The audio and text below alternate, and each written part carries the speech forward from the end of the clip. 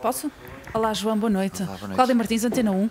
Eu queria perguntar-lhe, eh, olhando para este resultado, se sente que ele poderia ser diferente se o Famalicão, sobretudo na segunda parte, estou a lembrar-me ali de duas, três defesas importantíssimas do Marchesin e o resultado não estava tão dilatado, se sente que o Famalicão podia ter pelo menos somado um ponto ou, ou então não sair daqui deste jogo com uma, uma derrota tão, eh, tão pesada? Sim, de facto, deu a sensação em vários períodos do jogo que podíamos, que podíamos ainda disputar o, o resultado. Uh, no entanto, depois de, de, entrarmos de facto nesse registro do jogo, ou seja, acreditarmos que podemos chegar uh, ao golo, uh, cometemos erros, erros graves, erros infantis, e a consequência foi o golo do, o golo do adversário.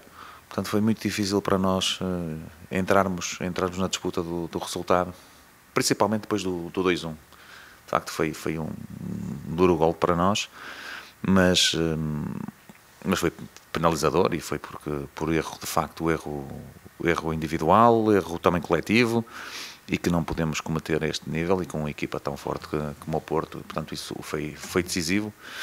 Eh, portanto, de facto, houve espaço a essa sensação, mas, eh, mas a cometer erros assim é difícil de, de pontuar com equipas como, como o Porto.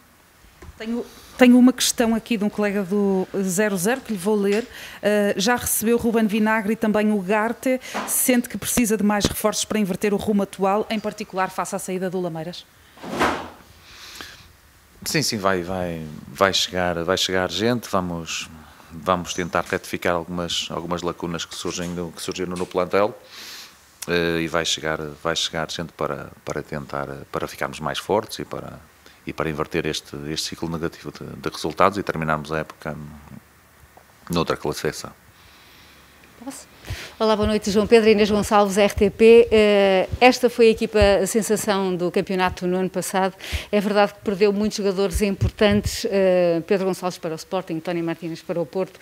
É verdade também que, eh, como estava a falar dos reforços que vai receber e que acredita que vai reforçar a equipa, soma o sétimo jogo sem qualquer vitória. Até que ponto e onde é que consegue percepcionar essa recuperação que tanto quer para esta equipa, tendo em conta o peso também destes estes resultados destes últimos sete jogos que não são favoráveis à, à vossa equipa? Sim, claro, são, são muitos jogos sem, sem vencer e claro que se, que se reflete, estaria a mentir se isso não, se isso não acontecesse.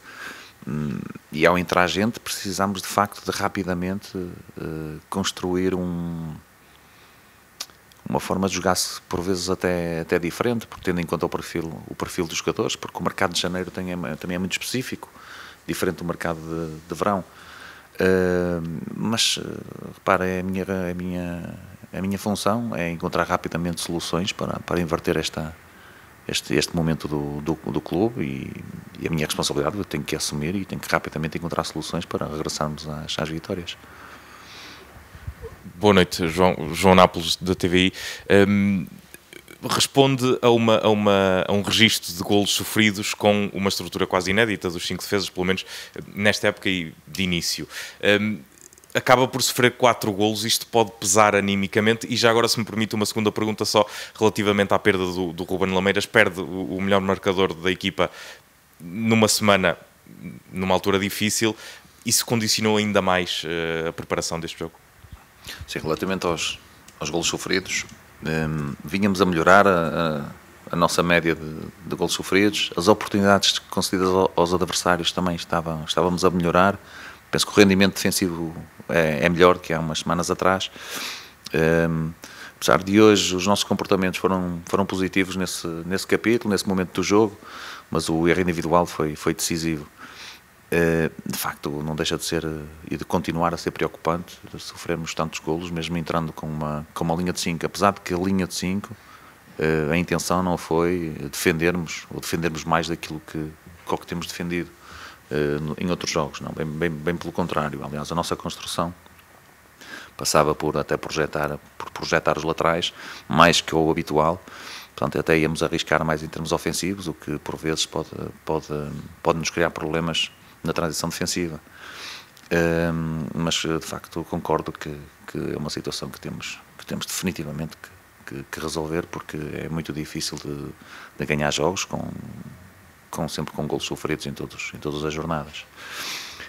Relativamente ao, ao Ruben, ao Ruben Lameiras, o Ruben Lameiras uh, foi um jogador importante para nós.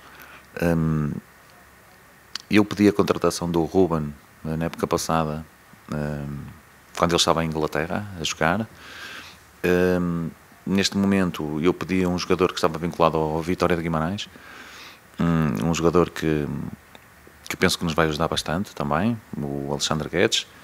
Uh, e houve um acordo entre os clubes, houve um acordo com, com o, o jogador. Uh, e pronto, e achamos, achamos por bem fecharmos o, o negócio e, e, sentimos que, que ficamos também ficamos muito fortes porque o, o Guedes de facto vai nos ajudar numa uma carência que tínhamos, um, um perfil de jogador que, que faz falta ao, ao plantel.